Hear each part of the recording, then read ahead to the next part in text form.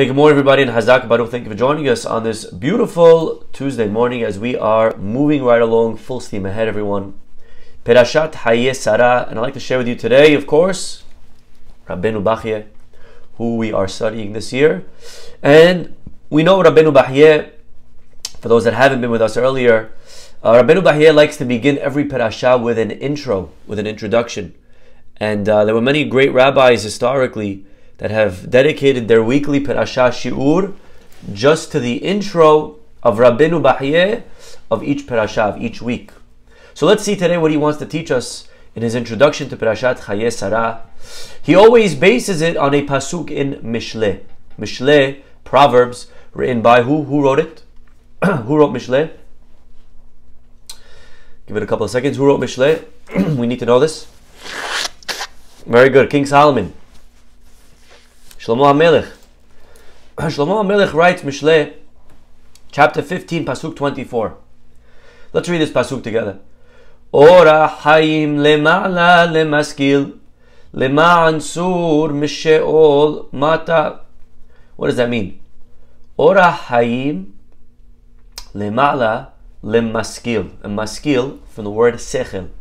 Maskil means someone with intellect, intelligence. Lemaskil, for an intelligent person, ora hayim lemala. The way of life is upwards.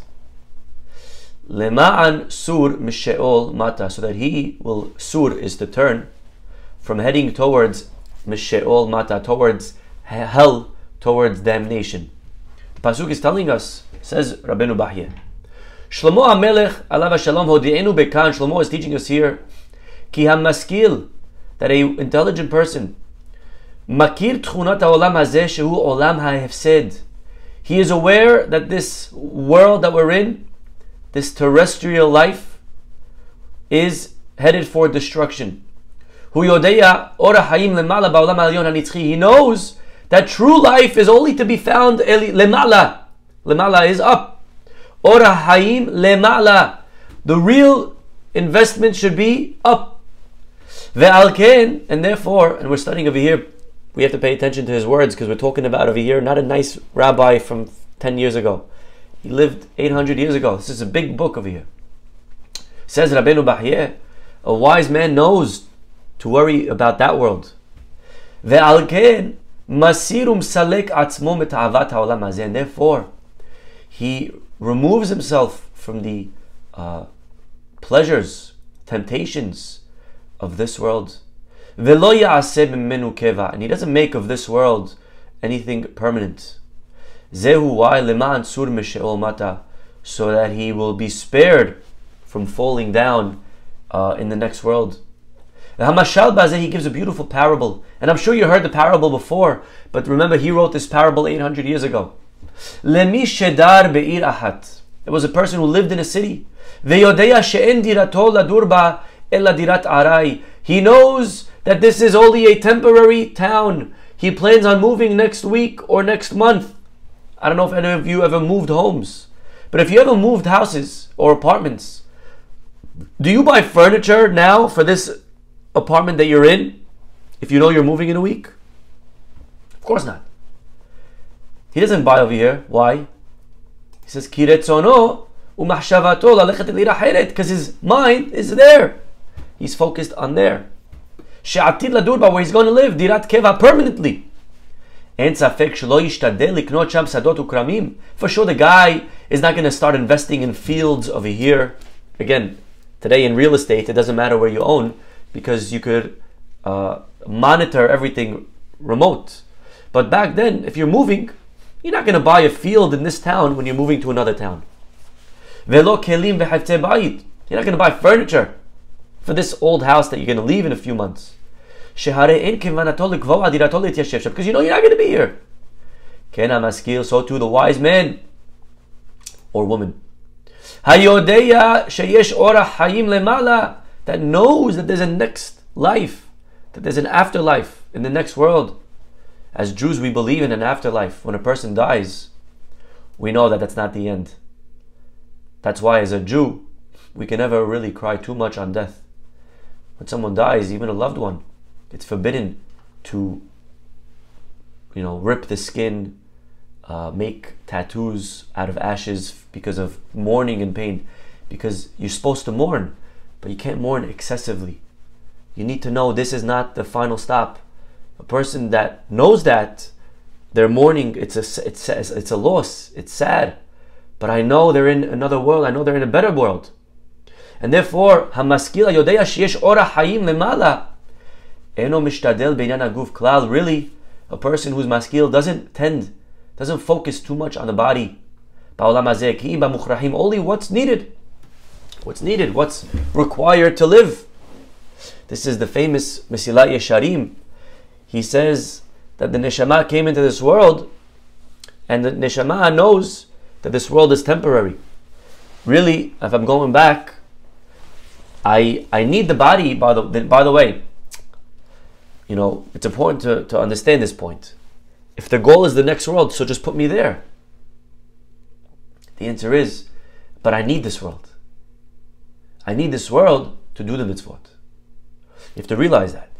Very important nekudavi, very important point I just want to spend a minute on. That means you cannot, in the next world, serve God. Lo hallelujah. The opportunity to say bracha and say, God, I love you, is only here. So right now I want you to close your eyes and say, Hashem, I love you.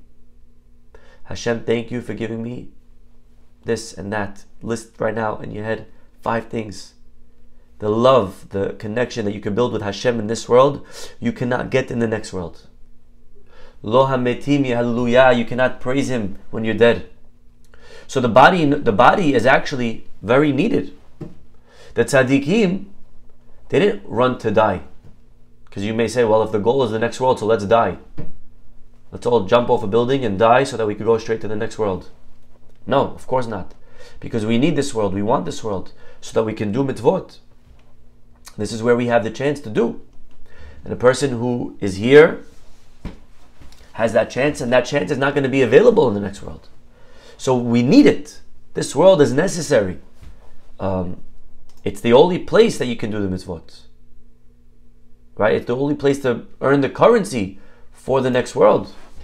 The tzaddikim, when they died on their deathbeds, they weren't happy. They were sad because they knew that they need they needed this world. They wanted this world so that they could build more in the for the next world. But ultimately, right, the Gaon Vilna on his deathbed when he cried, the student said, "Rabbi, why are you crying? You're going straight to Gan Eden." He said, "I'm crying because I know that in a few minutes I won't be able to wear tzitzit." That's all he hear. That that I could purchase mitzvot, I could only do for the next few minutes. Once I'm gone, that's it. I have it, and and there's an advantage also, and we're going to see soon. But the opportunity to do is only now. We got to grab the opportunities, gentlemen and ladies. We got to grab it now. המשכיל יודע שיש אורח חיים למעלה, אינו משתדל בעניין הגוף כלל בעולם הזה. A person that knows what's the purpose of life, he doesn't doesn't really focus too much on this world, ki'im b'muchrahim, unless it's needed. Right? What's a necessity? So you do it to stay healthy, to stay functioning. But the goal, don't forget, my friends, the goal. When you go to a uh, when you go to a show in Vegas or in Chicago or wherever you go, so you get a room because you need a room. But it's foolish if a guy is going to spend all his money on the nicest room, unless the company's paying for it, right? But you're not going to spend your money. Why should I spend my money on a temporary one-day room? I'll save the money for my, my real house where I live in, you know, where I come from. A man once came to visit the Hafetz Chaim. He saw him. He said, he said, uh, Rabbi, this is your house? Hafetz Chaim had a very simple house. He didn't even have curtains, they say. He says, Yeah, this is my humble abode. He says, Well, I mean, where's your furniture? Where's all, where's all the stuff? Hafetz Chaim said to the man, Let me ask you, um, where are you staying over here? He said, I'm staying in this and this hotel. He said, Let me ask you, over there they have big sofas in the room, fancy, comfortable couch, big uh, bed. You have a massage chair. He says, No, I mean, it's a simple bed and table. He says, Why? Why don't you get a big? He says, Rabbi, I have a big, but it's in my real house. Chafetz Chaim said, Me too. I also have furniture. It's in my real house. So the tzaddikim knew to invest in the real world. Today you have a lot of people that they're uh, investing in this metaverse. They're buying a lot of real estate. It's very interesting that people are investing in a world that they're not in. But really, as Jews, we do that. That's all we do. We're investing in Olam Haba. The metaverse, the real metaverse. It's here. It's it's it's coming. We don't have it yet. But people are investing millions into the metaverse. Why? It's not here. Because they know maybe that's where the future, they're ready to put millions into the future. We have to realize as Jews, we have a metaverse waiting for us, the real metaverse. Olam Haba. Olam Haba is waiting. We should make sure to invest. And Baruch Hashem, the tzaddikim, a lot of a lot of people, all the people here that I'm looking at, we know how to invest our money. When, when you give tzedakah, you're taking that ten dollars, that thousand dollars. When you give it to charity, you are taking that and you're investing it in your metaverse. You have to know that you're putting it in the metaverse. That's the only way to take it with you, by the way. If you hold on to it, people like to hold on to their money. Keep it in the bank account, guess what happens? Then it gets stuck in this world. If you want to transfer it, give it to an ani. You just transferred it to your Olam Haba account. You understand? Because this world really is so temporary. Intelligent person doesn't make from this world the goal. Rather, the goal is to fear God, to do the mitzvot. And that's why Solomon begins his book. Hevel Havalim. Nothing of nothings. This world is nothing. And he ends the book. Sov davar kol nishma et ha'elohim yira. At the end of the day, a person needs to know we fear God. So that's what it means. Ora hayim lemala lemaskil that a person that's intelligent focuses on the next world. Now, he continues and says, why does he call it Ora Hayim? Orach means the path of life. Anyone know what's another way to say path in Hebrew? How would you say the word path in Hebrew? Very good, Jackie. Derech. Derech Chaim. Like we say Derech Eretz. It's the path of proper conduct. What's Orach Chaim? Good question. Uma sheheskid lashon Orach velo Derech. You ready for this? Very, very beautiful. Lefi shehu lashon Oreyach. Orach comes from the word oreyach. It sounds like oreyach. What's an oreyach? Guest. Very good. Lefisha adam ba'olam hazeh. Person in this world needs to know that they are keger ba'aretz na natalalun. You're like a visitor. You're like a guest in a tavern. Just like when you go into a motel. You know you're leaving. You're checking out tomorrow. We have to realize we're all checking out. No one stays here forever. You know, you look at this world, and again, I'm not saying this to get anyone depressed. I hope I hope I'm not doing that. Really, it's not the goal. It's the opposite. It's supposed to give us proper perspective. It's supposed to appreciate life. Remember, Hashem says, Besimcha. A person needs to live with simcha. A person can live with simcha when a person knows that the goal is the next world. I'll tell you why. You ready? Sometimes, why are people so depressed? Why people, people so down?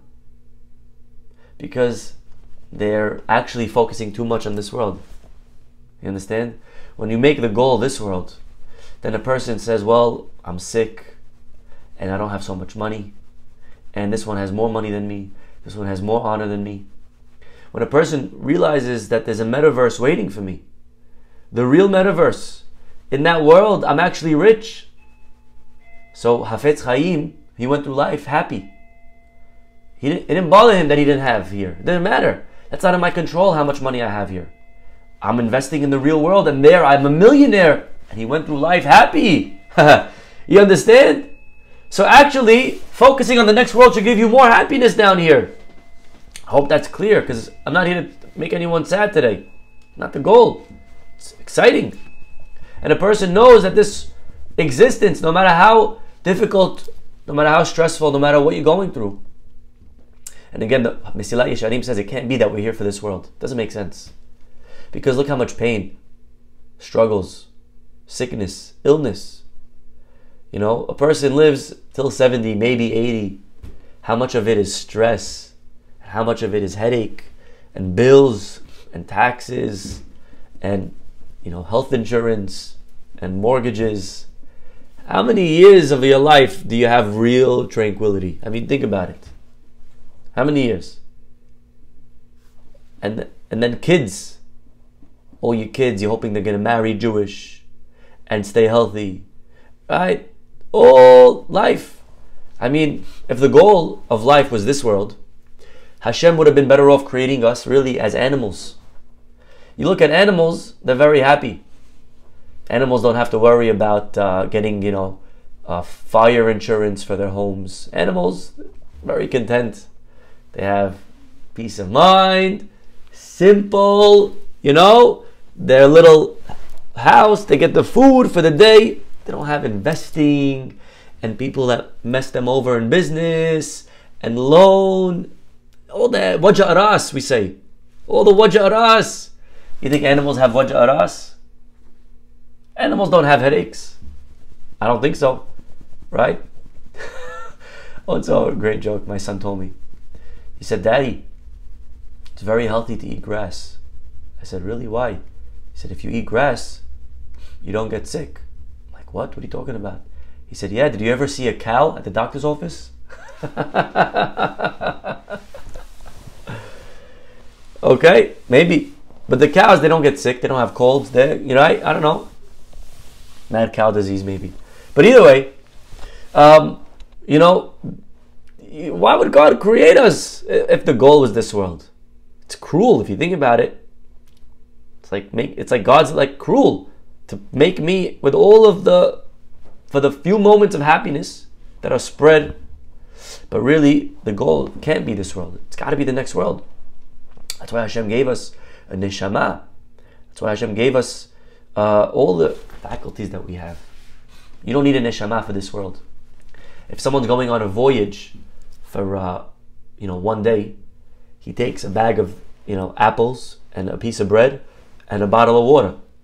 Imagine you see a guy going on a ship and he takes carts of eggs and cheese and meats and fish and vegetables and you know loaves and loaves and loaves of bread and you see this guy going on his boat. What do you assume? Huh. You going uh, where you going? You going to discover america? I mean all that uh, all the eggs. Where you, where you going with that? Now imagine i told you oh no i'm going just for two hours just to circle around uh, you know liberty island. Two hour trip you're taking all these foods? So really, if a person realizes that, why did Hashem give me such a powerful neshama? If the goal is just Liberty Island, the goal is this world, I don't need a neshama. Animals, again, they don't have a neshama. They're very content. They, they do well. They're living well. They're happy. They're comfortable. To live in this world, you don't need a neshama.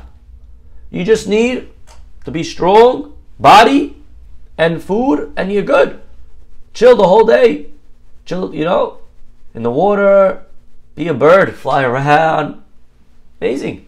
Has to be, has to be, gentlemen and ladies. It has to be, please. Please understand this that we're not here for this world. This world is not the destination. Hamaskil, a wise man knows he's an oreya from the word orah. He's a guest. He's waiting. And really, the soul is yearning to go back to the source with God, etc., etc. Beautiful. The Yadua, and now you need to know, ki mitata guf sibata hayim la nefesh. Know this, my friends, that when a person passes away, it's really now the beginning of life. Did you hear that? Actually, death is when life begins. So long, you know, a baby just compare it to a baby, a fetus in the mother's womb. You know, the fetus thinks he's living. All of a sudden, there's a lot of noise and pressure, yelling, and the baby starts crying. And boom, gets sucked out of the womb. Imagine his twin brother in there. He sees his brother, God, brother, I'm gonna miss you. He thinks his brother died, right? But really, that's where life begins. Would you say that the brother died? No, he's now living. Now you're alive. So, the same way, leaving the womb, going into this world, you're entering a higher level of existence. So, too, my friends, when we leave this world and we go to the next, a person's entering a higher level of existence. And he's actually starting to now live. Shlomo HaMelech says, anyone know this pasuk? Tov Shem, Mishem and Tov. Better to have a good name than good oil, right? Because a good, good oil, at the end of the day, oil will only help you in this world. A good name goes with you to the next world. Ve'yom hamavet miyom hivaledo. The day of death is greater than the day of birth. Why? Shebach Yom Amita, my friends, where, where are you gonna find? We're, we're reading over here gems. I hope I hope you appreciate. I love this. I, I mean, this is amazing. We're picking up over here diamonds. Shevach Yom Amita, Miyom Haleda. There's an advantage of the next world to this world of death over life. Ben ba'olam ben ba'olam. In both respects, this world and the next world, it, twofold. It's better death than life, twofold. Let's see how. Number one, La'olam haba, in the next world, she'i efshar la'nefesh la'asig malat ha'adam ha'alyon ki. Obviously, for the soul, it makes sense. Because when a guy dies, when a person's dead, their soul can now start to live. So for sure, I understand in the next world why death is better than life. But even in this world, you know why? Lefi Shlomo HaMelech was not a dumb man. Shlomo HaMelech chose his, wise, his words carefully. When Shlomo HaMelech says Yom HaMavet miyom veledo, better the day of death than the day of birth, he's specific. You know why? Even for this world, it's better. A person's attributes a person's deeds are not really known, umfursamim or recognizable. Only on the day of death. When you're born, all you have is potential. Potential is nice, but there's nothing bigger than potential. Anyone know? What's bigger than potential? Actual. You see, when a person is young, they have potential, but they have nothing. When a person is dead, older, they actually actualized all that potential. In a way, right? Um, Viktor Frankl writes in Man's Search for Meaning I'd much rather be old with actual accomplishments than young with potential ones. Yeah, something very rich about that. That's what he's saying over here. Rabbeinu Bachye is saying that. When you when a person's born, even in your lifetime, even in your lifetime, listen to what he's saying here. Even in your lifetime that you did accomplish, those accomplishments are temporary. Because who knows if they'll stick? Maybe a person will change course. Maybe a person will start to do the wrong things. When a person's right alive, how do you know he's not going to undo what he did? You can't be sure he's going to remain righteous. However, when a person passes away, how we know? And now we come to Sarah Imenu. Look at this. Kolzman Sarah kayemet. So long that she was alive. Hayala, she had three miracles. Anyone know what they were? Three miracles. Let's go. Number one. Nir daluk me'erev Shabbat la'erev Shabbat. She had her candle would light every week, it would stay one week without going out, from Friday to Friday. Like the Bet HaMikdash, by the way. Every, right? It stayed 24 hours. Ubracha mitzuya ba'isa. There was something very beautiful in the dough. Also like the Bet HaMikdash, they had the lechem apanim. Ve'anan kashur ala oil, and there was a cloud covering at all times, like the Bet HaMikdash. Ukshemeta pasku unetosim Only when she died did people start to realize that they were gone. You see, when a person is living, it's human nature in life, you don't realize what you have till you lose it. So long that someone's doing something, you take it for granted. It's only after the guy dies in the shul, and all of a sudden breakfast comes, and you wonder where's all the, where, what's going on over here? Where's the eggs? We have eggs every day usually. Oh, you know who made the eggs? It was so and so. What? He made them? I never knew. Right? When they die, now you appreciate them. So Sarah only we could recognize her greatness after she died, when the things stopped. Ve'od, which is by the way a shame. It's a shame. It shouldn't be like that. We should try to, instead of eulogizing the dead, praise the living. Very nice line. In life, don't wait for someone to die to eulogize them. If there's something beautiful about someone that you know, think about someone that you know. Don't wait for them to die and then say, wow, yeah, yeah, they were so this, they were so that. Praise them now. Now. Go to them. Call them. Hey, just want you to know, I really admire your parenting. I love how much you pray. Don't wait for them to die and then say, ah, the funeral, they were so giving, they were so nice, right? Why? It's a shame. Let the let the living person hear it about themselves. It's a mitzvah to make people feel good. So number one, she the three things. Ve'od shemeta ba'aret be'eretz Israel. Sarah is the first person to be buried in the text. Meta v'nikvera be'eretz Israel. אחרי שהאריכה ימים, she lived for many years. הוא שכתוב, היו חיי שרה מאה שנה, עשרים שנה ושבע שנים, שני חיי שרה. Now, really, he goes over here into a long, detailed discussion of uh, Gilgulim. You know what's Gilgul? Reincarnation. Where he really basically, just to say the point, he says, really she, she died right after Yitzchak's Akedah. But there's a paragraph in between about the birth of Rivka. Why? Because right after Sarah died, כשנולדה רבקה כבר מתה שרה, רבקה was born. And he says that, he says this, you know, we can't deny what he says. לכך נסמכה מיתת שרה לפרשת עקדה. עשה המדרש רבקה ושרה כאילו ההן אחת. Really, he wants to say over here that uh, Rivka is a reincarnation of Sarah. לפי שלא נודע לרבקה עד שמתה שרה, Rivka couldn't die, uh, couldn't, couldn't, couldn't be born until Sarah died. Because the second Sarah died, then it came into Rivka. Ufisha itabim koman, because really, Rivka is a continuation of Sarah. Vegam hi domala b'ma'aseh tovim, and she's really continuing in her good deeds.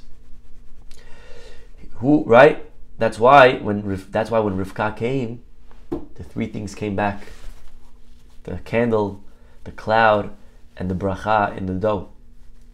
Very interesting over here. He goes over here into this idea Sarah really and Rivka being one. But either way, let's move forward. We have a few more minutes left.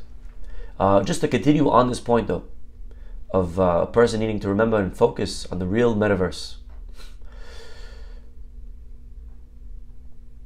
He says, Al derech. What does it mean? Vayu Sarah me'a shana, esrim shana. He says she lived till 127, and then shenei chaye Sarah. These were the years of Sarah. What is that doing? What, what, what's going on? This pasuk it just seems very redundant. So he says over here, Vayiyu. Take the word Vayiyu. He loves doing this. Vav, Yud, Hey, Yud, Vav. Add it all up. 6 and 10, 16. And Hey is 5 is 21. And Yud is 10, it's 31. And Vav is 6, is 37. 37. Anyone, does that number mean anything to anyone?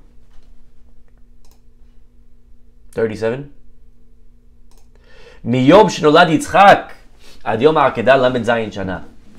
From the day Yitzchak was born till his akedah, our tradition holds 37 years.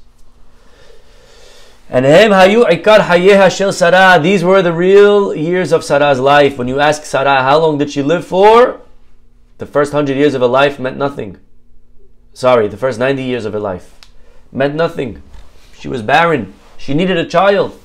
The real years, the quality years, was Vayihiyu Haye Sara, Vayihiyu 37. Because before that, she didn't have a child. Umishain lo banim hashuv kemet. Without children, she was considered dead. And that's why it says Vayiyu Haye Sara. She considered the main years of her life Vayihiyu 37.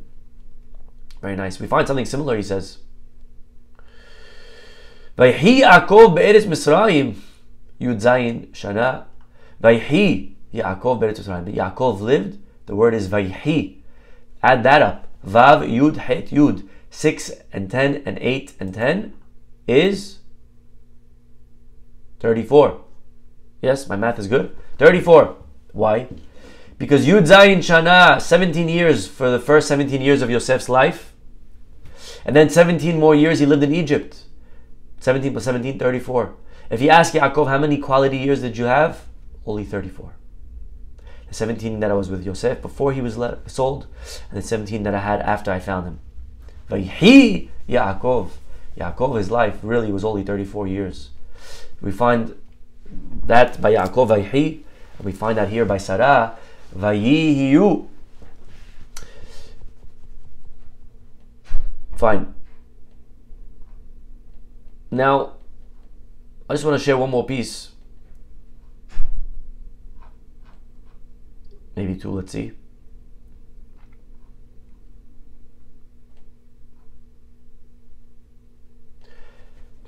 Vayakom Avraham me'al pene meto. Pasuk says, Abraham got up from his dead. Vaydaber bene He spoke to the people. And he says over here, למדנו הכתוב דרך ארץ, Torah is teaching you proper conduct. כי המדבר ברבים צריך לעמוד. When he's speaking in front of people, ויקום, stand up. When he's speaking to someone, it's not proper to sit down. It shows arrogance. Stand up and talk to them. וכן חזר, and later on we're going to continue and say, ויקום אברהם, וידבר איתם. Again, he does it, he stands up. Beautiful. Fine. And what he asks over here, very interesting. Why does it say me'al penei meto? That's masculine. Sarah is feminine. It should say me'al penei meta. What's meto? His, his dead. Masculine. She's a female. Sarah. And look again, again, again, again, again. Look at this. Because the body is masculine. When a person dies, it's only the body that dies. Lo hanefesh. The soul doesn't die, my friends. The soul is around forever. And therefore, it's only the body which is masculine that remains, and that's why he uses a masculine tense. Me'al pene meto. One final idea, my friends, uh, just to tie it all together.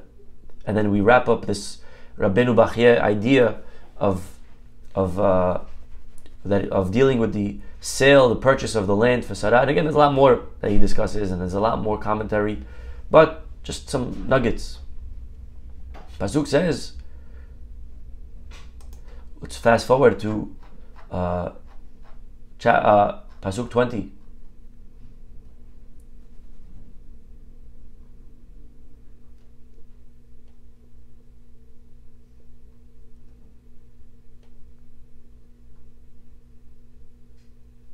Yesh leitbonen b'perasha azot.